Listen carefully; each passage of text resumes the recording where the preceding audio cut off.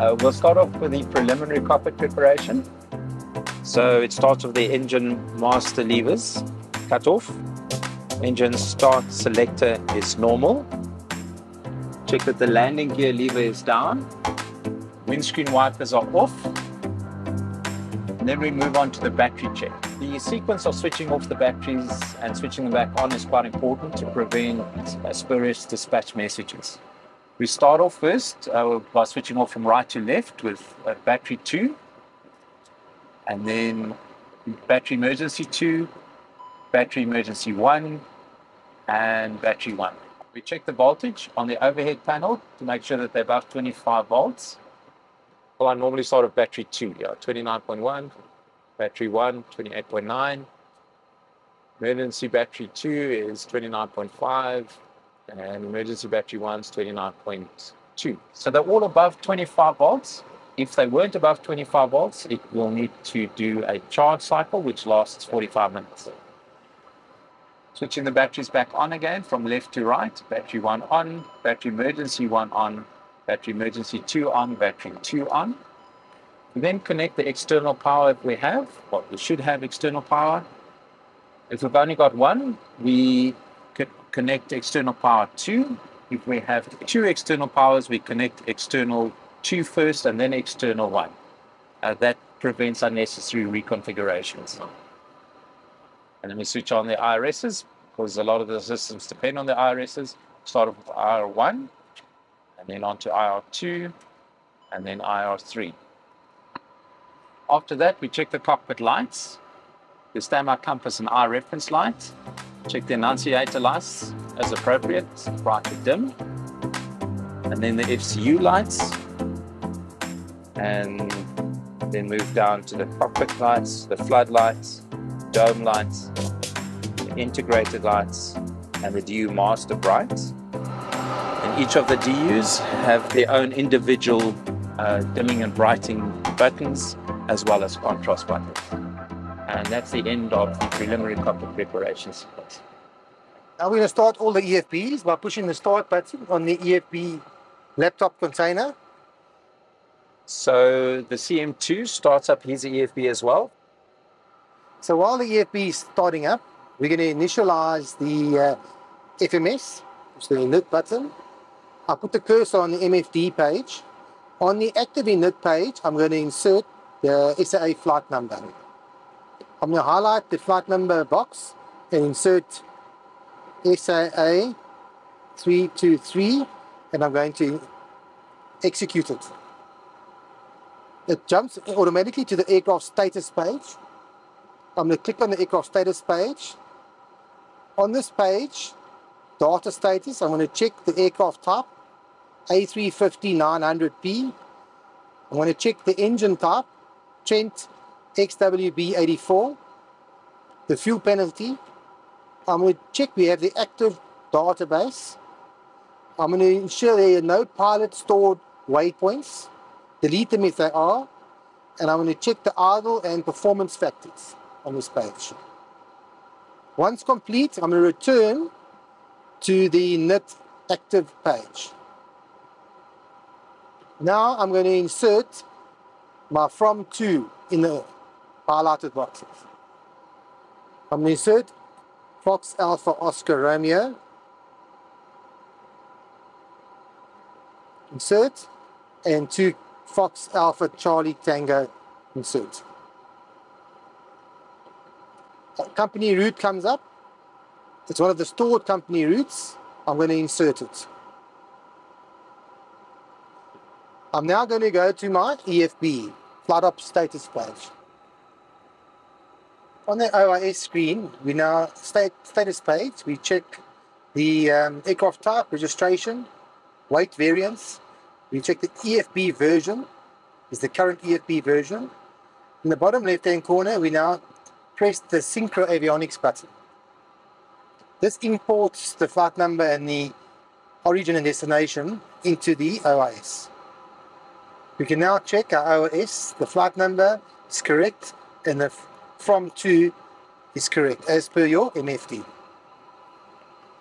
So at this point, we'll go out of the EFB and initialize the ACOS.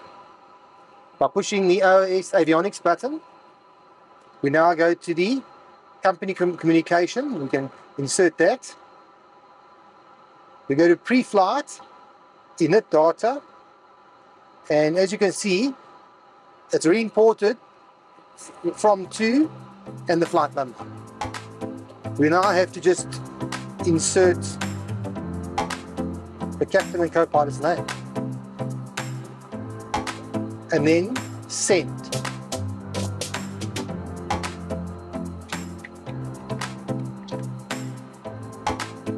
Enter. Okay, and have to put Dion's name. We can then send that to AOC. And then once the captain has uh, finished the initialization on the MFD and synchroed the avionics, we cross-check the EFB version and then also make sure that the aircraft type, the registration, flight number, and from to have been imported correctly. That's the OIS initialization completed. I'm now going to do the ECAM logbook check.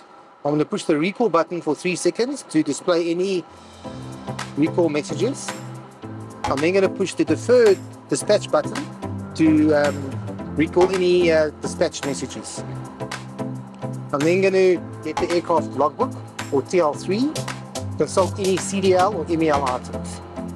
I'm then going to accept the aircraft. The CM2 then also checks the ECAM, the dispatch messages, as well as the TL3 and ME, any MEL and CDLs with the captain. What we're going to do now is the fire test and APU start. So we'll start off with the radios and we turn the RMPs on. Make sure that the standby RadNav buttons are off. That an appropriate frequency is tuned. The one is always there, so you can only stop you. It's possible to start with a number behind it. So we'll say two. Can tune it. Then make sure that the interphone is unlatched and we set it so that we can speak to the ground engineer if we have to. From there, we do the fire test. We start on the top, we check that the fire switches are all in and capped and that there are no lights. Then do the fire test. By pressing the fire test button. And we'll get the continuous repetitive chime. Check that all the fire lights are on, all the squib lights are on, all the discharge lights are on, that the main landing gear fire light is on, the master warning. On the ECAM, we have engine 1 fire, engine 2 fire, APU fire, main landing gear fire. And then on the engine master levers, you also have the two fire warnings. We start the APU. So put the APU master switch to on. See the APU has come up on the system display. And then we start it.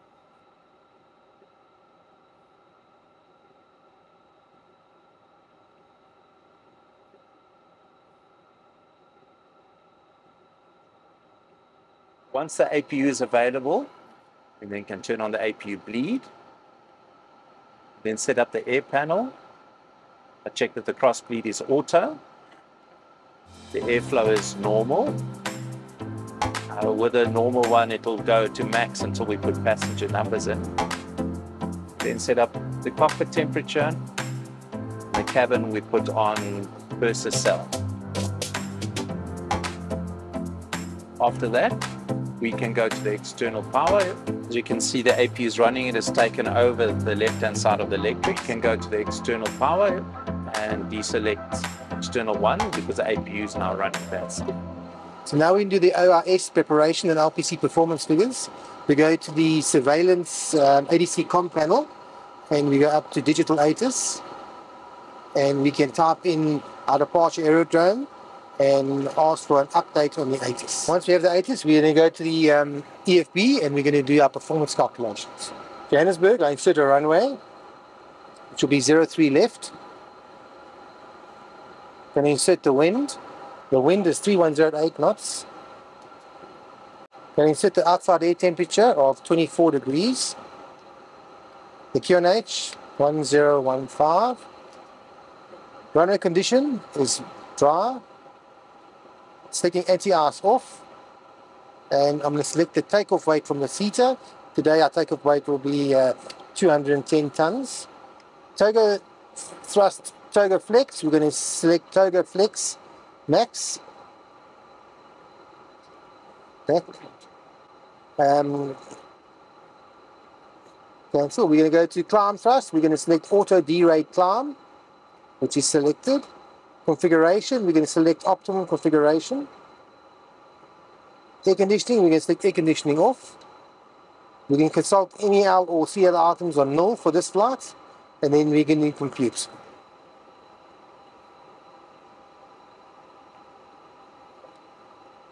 So CM2 will then load up the same in the uh, takeoff performance page as the CM1, and then they will cross-check the performance figures.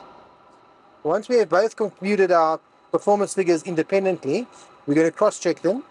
We do this by pressing the uh, cursor to go to the next page, and then we cross-check them by the pilot flying, reading the takeoff runway, the takeoff shift, the V speeds, the flex toga value, the flaps, the packs on or off, and the anti-ice off, the engine out acceleration, and then we consider OEBs.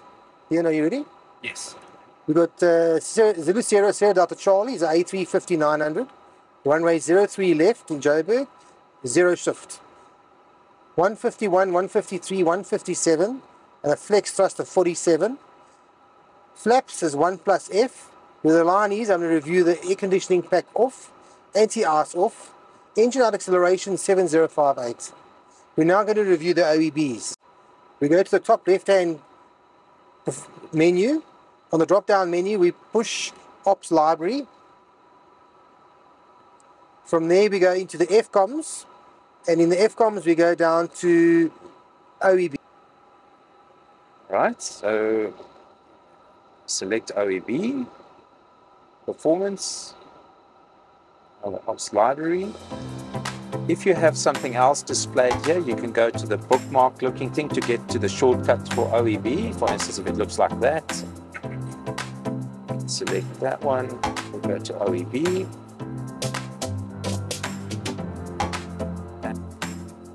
And then we're going to transfer it to the center screen so that we both can see the OEBs.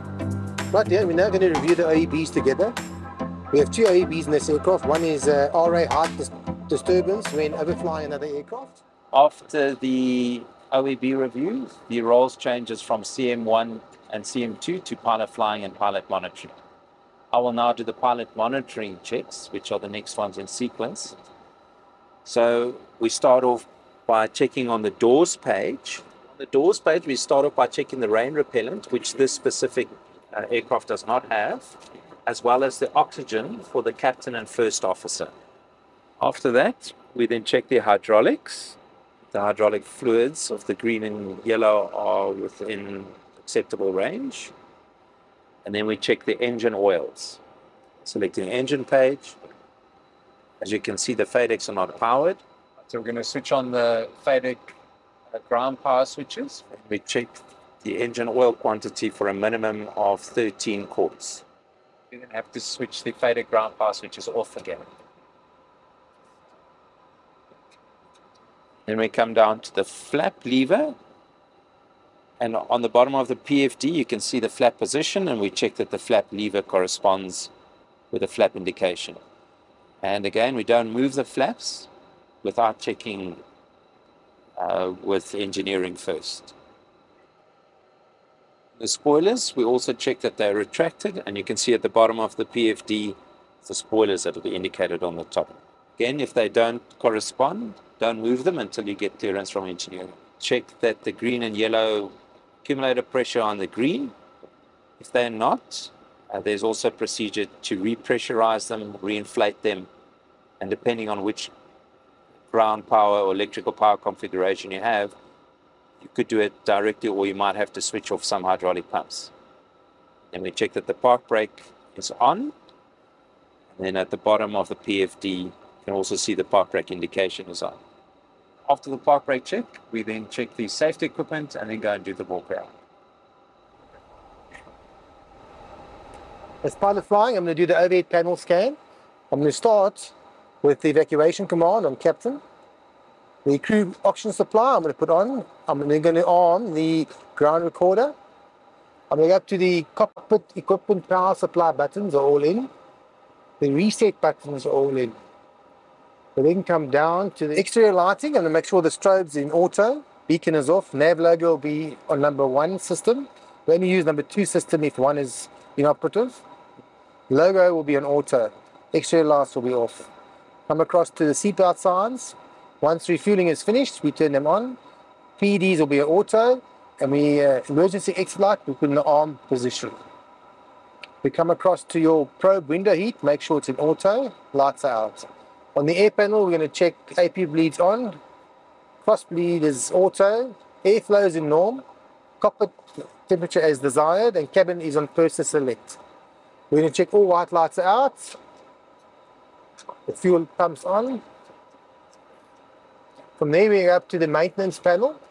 All white lights should be off, but for ground uh, preparation, we could have the CB remote lights on or the ground com light on. From there, we're going to come down to the air conditioning panel. We're going to check that the temperature selector is selected as desired uh, for the forward and the aft bulk cargoes. From there, we're going to go to the cockpit voice recorder. We're going to test it. Three, not longer than three seconds. And there's no ECAM warning, which means the test is successful.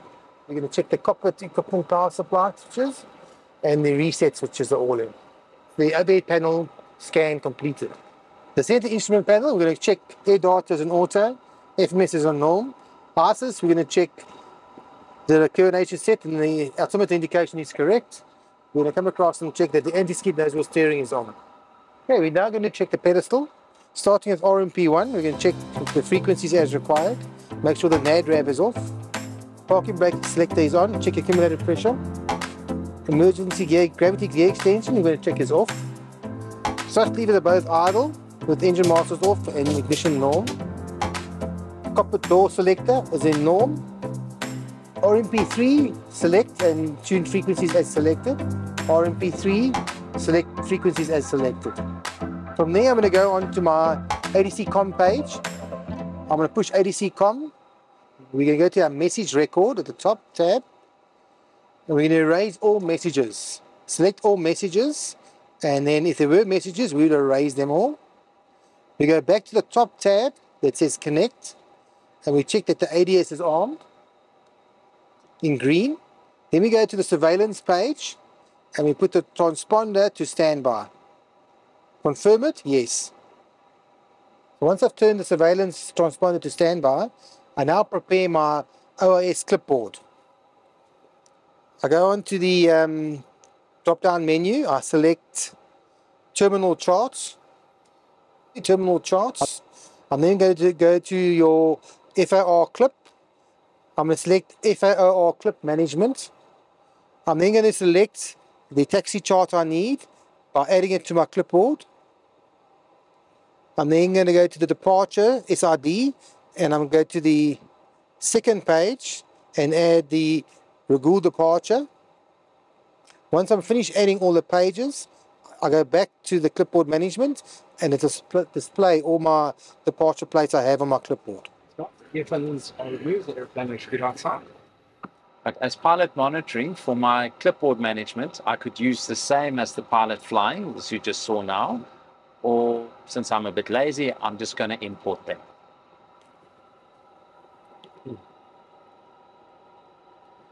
So what I'm going to do is I'm going to go to the same um, terminal chart page That's what you saw on the earlier one. This time I'm going to go right down to the bottom and I'm going to say import chart setup from offside. Select it.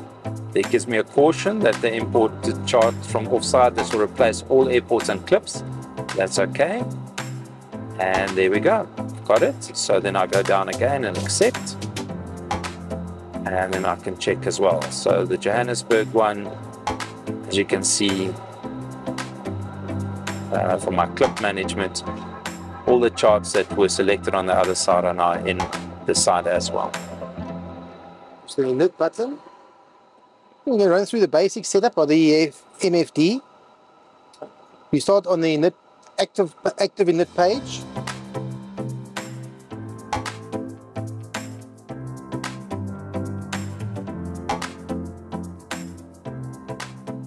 The flight number was already inserted.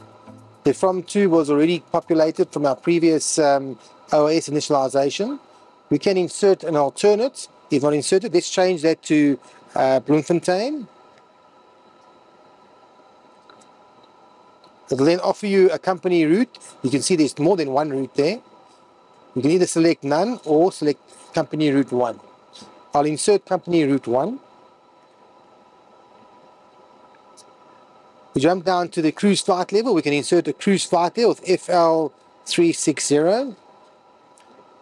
Mode, we either have Econ or long range cruise. We select Econ and we'll insert a cost index of 30. On the wind, it uh, highlights the trip wind. The options here is to either insert a trip wind or we can go across to the wind page where we can insert history winds, climb winds, and cruise winds at every waypoint. If I return, today we're going to insert uh, just a trip wind of say 35 knots, which gives us a tailwind. We then have to go to the cruise temperature and we have to insert a cruise temperature, otherwise there might be anomalies in the climb. Under tropopause, we don't insert anything under tropopause, we leave it at the default setting of 36,000. Right, once that's all populated, we drop down to the IRS menu. If you click on the IRS menu, we have the option of aligning on the reference, which is already done, or we can align on a different position. If you just click on it, we can uh, then enable to insert a Latin long. If we click on return, we can go down to the next page, which is the departure page. Here we can um, select the departure runway, 03 left, and then we can select a drop-down menu of the Regul departure.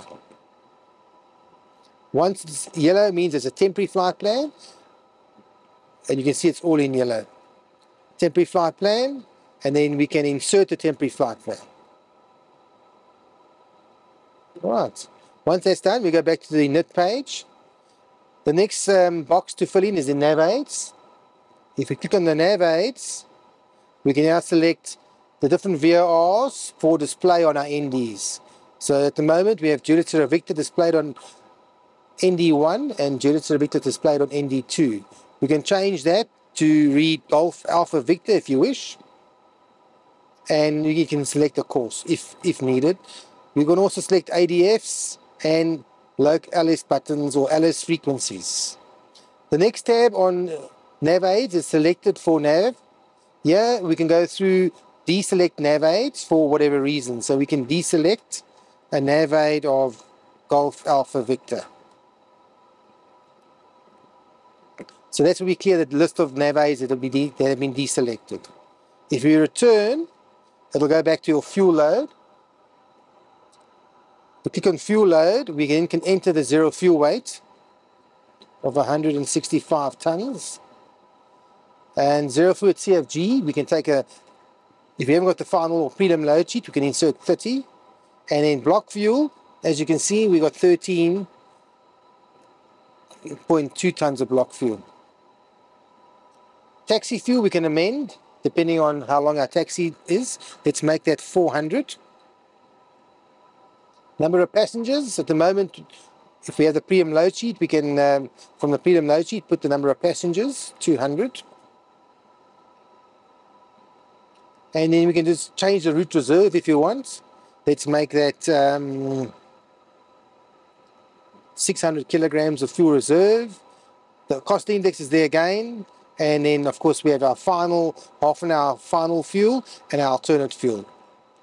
We don't insert anything under the gross weight jettison gross weight. As you can see at the moment we have insufficient fuel for our flight to Cape Town. And then we can return Uh, and then we can look at the takeoff performance. At this stage, we can insert our takeoff performance or runway 03 left from our OIS calculated earlier. So our V1 speed was 151. Our VR is 153 and 157. Once we've inserted the V speeds, we can then insert a flex thrust or a toga thrust. For the purposes of demonstration, I'm going to put a D-rate thrust in. Going to D-rate to D12 and I can confirm that. For some reason it's defaulting to Toga today. Flaps, we can select our flaps. One, two, three as per what's on our OIS. And the trim we can insert from uh, the load sheet. Packs, we can select packs on or packs off on APU and anti-ice on and off. We then can adjust the thrust reduction, acceleration altitude, or we can push on noise and then put a noise abatement procedure in if necessary. Transition level and engine out acceleration can be altered. Alright, from there we can go to our climb page. On the climb page we can pre-select the speed. So today I'm going to pre-select 210 knots for the climb. And again we can change the noise or cancel noise. Here we can insert a speed constraint if, if required. 250, let's make it 250 at flight level 150. Temporary flight plan is created in yellow and then we can insert our temporary change. Alright, that goes back to the init page. We have now completed all the items. We can now go to the flight plan page. In the flight plan page we can fill in what has ever been left out. So one thing we haven't inserted now is the de arrival, departure into Cape Town. So we can in, in, insert a departure, arrival into Cape Town and an approach. ILS Zulu.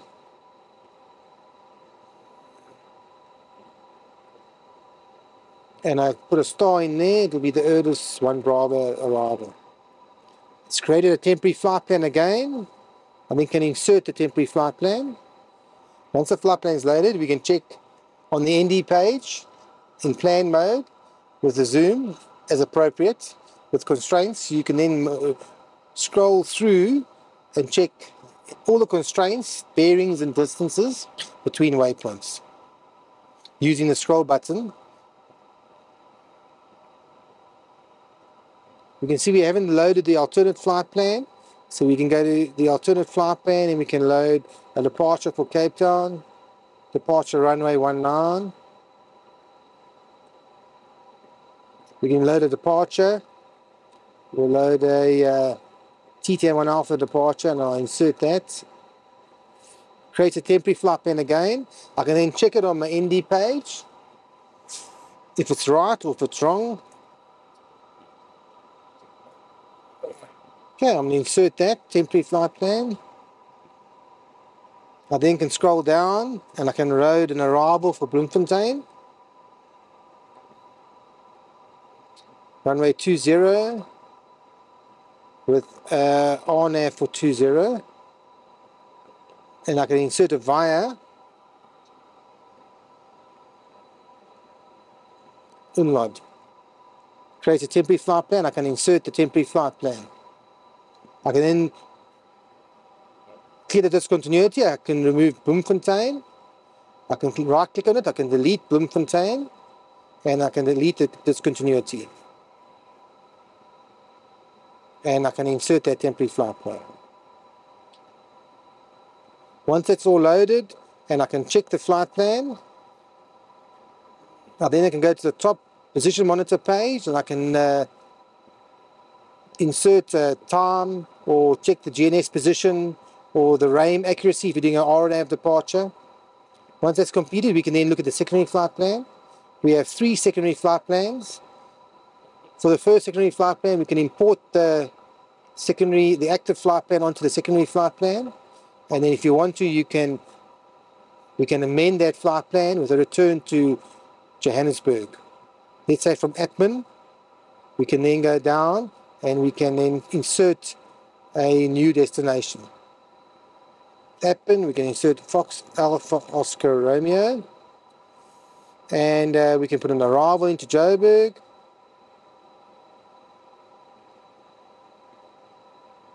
over there. Runway 3 right. Approach Zulu 03 right. And the star, we can put the Nibex to Alpha arrival in. That's all on the secondary. We can check that now. You can see it comes up with the info message of check takeoff data. We can clear that. And that's the basic flight plan loading and setup of the A350. The pilot monitoring will then go through the FMS and check the loading of the pilot flying, make sure that everything was loaded correctly in the FMS. And once we're both seated and that's done, then we start with the FCU. We're going to check our loudspeakers at 1 o'clock. We're going to set the QNH 1015 and check cross-check silently that the uh, altimeters on the PFDs are within 20 foot and within 30 feet of the ISIS and recorded on the CETA. We go to zoom, and we zoom down to the ANF. We take the cursor on the ND over the menu pop-up. We select it. We go to status. Select it and we can check the active database for the ANF. Once completed, we can then close it and then go back to our normal operations with our zoom. We can then select constraints, airports, uh, VORs, and traffic. We then go across to your windows, and uh, that'll be 100, 275 Mach speed. It's on heading, vertical speed, and we can select flight directors on, and then we can select uh, altitude for our instrument departure, and vertical speed will be zero, and then meters will be off if or on depending on where you fly. That's the lateral FCU panel completed. We then do the lateral console check of the oxygen, which is standard as per our A330 and A340 procedures. Once that's complete, we then complete the N2F takeoff briefing. So when the final load sheet arrives, we check the final load sheet against the inserted figures. On the active fuel load page, we check the zero fuel weight, the zero weight CFG, check the block fuel is correct, and we insert the passenger number from the load sheet. Once that's done, we go to the um, takeoff page. I then check the takeoff CFG is within 1% of the ECAM CFG, and I insert the ECAM CFG on the takeoff page. So it's 30.1, insert that 30.1. I then hand the load sheet to Dion to check. I will then take the load sheet and check that all the figures have been entered correctly into the FMS. And as a final check, I will do a cross check with avionics.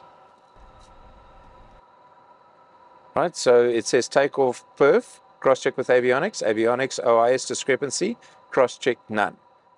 So there are no discrepancies. There are some cross checks, uh, some things I must cross check on the MFD, which are the takeoff runway, the takeoff shift, and the engine out acceleration altitude because those are not cross-checked with avionics. So the next step then is to adjust the seating position and we use the same technique as we do in a 330 but you'll feel that you're sitting a lot higher in the 350 but that is normal. After the seat adjustment, the pilot monitoring checks that all the external connections are disconnected, the external air, as well as the external power. We have to make sure that the external power available on both, uh, disconnecting just like a 330 uh, with it still um, connected to the aircraft electrical if the engineer removes it could cause injury the before start checklist. We access the before start checklist with the checklist menu button. We select the uh, before start checklist by scrolling the mouse over highlighting, press the validate key, and there we have the before start checklist. Cockpit prep. Completed. Completed. Gear pins and covers. Moved. Fuel quantity. Checked. Takeoff data. Set. Baro ref. QNH 1015 set. QNH 1015 set. Down to the line. Request the before start clearance. I'm going to go to the surveillance panel and select default settings. Confirm. I'm then going to select my taxi camera on. I'm then going to check my doors and slides are all closed and slides are all armed. Put the beacon on. Thrust levers are idle. Check the parking brake is on with the accumulator pressure in the green. Then check I have Memo green, parking brake on, and nose wheel steering disconnect. Let it line, please. As the pilot monitoring, I have the same procedures up to the doors. And then I could leave them before start checkers below the line.